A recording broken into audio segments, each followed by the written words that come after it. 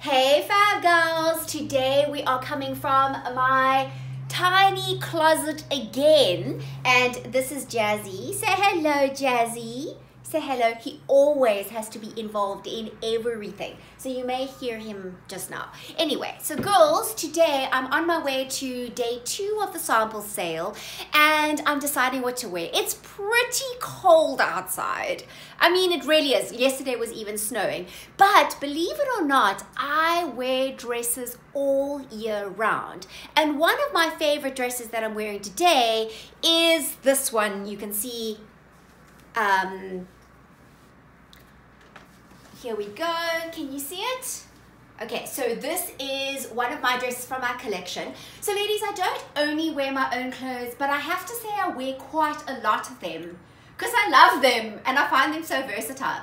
So many women struggle to wear dresses in winter time, but my little secret is thermal tights or leggings, thermal socks, and then I just layer on top. So I'll put my coat on over, over this. It is gonna be pretty warm inside, so I'm probably not gonna layer too much on the top because I'm gonna get really, really hot. But you may notice now that this dress, okay, it's actually very, very stretchy. I mean, I was able to make it almost in like a one size fits all type of thing because it is so stretchy but it doesn't really give me shape because of the stretch. So let me show you my little trick. One of my favorite tricks, okay, is my magic belt. I love these belts. I designed these belts because so many women wanted them. I used to buy belts for myself and then I thought, why don't I just make some? Because that's really easy and then women can wear them. And I knew what women were wanting. So this is made of a very soft stretchy fabric. So it doesn't feel uncomfortable in your waist which is really important. Now look at the difference ladies. Now what you want to do this is one of the reasons why women think they can't wear belts. Is because they wear them here Ladies, this is right across your tummy. Most of us are not that flat here. And it's definitely not our narrowest point. So what we want to do is we want to go high up into our waist, okay? High up. So really like where your narrowest point is, that's where you want to go. Now, okay, and then you can see it crisscrosses at the back and then I tie it into a bow and the cool thing is, is this is completely adjustable. It's a one size fits all. And then the ties go down the body to elongate and make us look taller. So that's one of my favorite tricks as being a short woman myself. Also just to say that this dress is also because it has like a peaked, you know, a triangle um, hemline, it also tricks the eye and makes you look taller than you really are.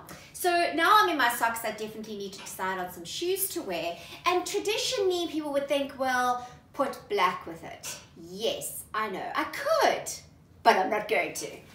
But I'm not going to wear my red boots with this because there's no red in here really. You know, I know very unusual for me not to wear my red boots. But these are kind of my second favorite at the moment. These are my tan boots. And ladies, brown is making a huge comeback.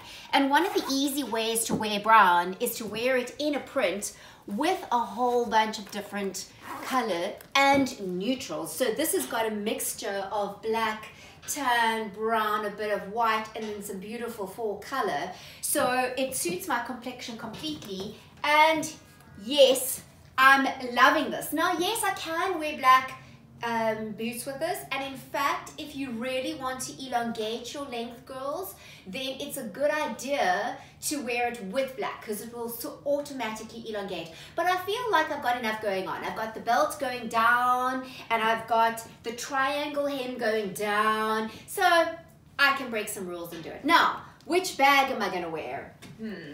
All right, so am I going to go for the black? Let me see.